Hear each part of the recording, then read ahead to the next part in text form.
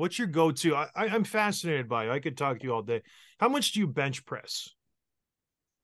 Ooh, um, you have to convert this because I only know it in uh, kilograms. Kilograms. So Okay. yeah, so I haven't done it in a while. But back in Frölunda, I think I did like uh, 137 uh, kilograms was my maximum.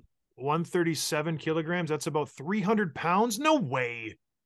Yeah, so that was my uh, my maximum uh, uh, bench press, one rep.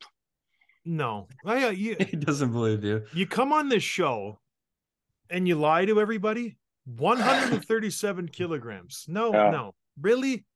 Yeah, Tim, that's 300 pounds. Do you have long long arms too? yeah, I have it too, but I don't know.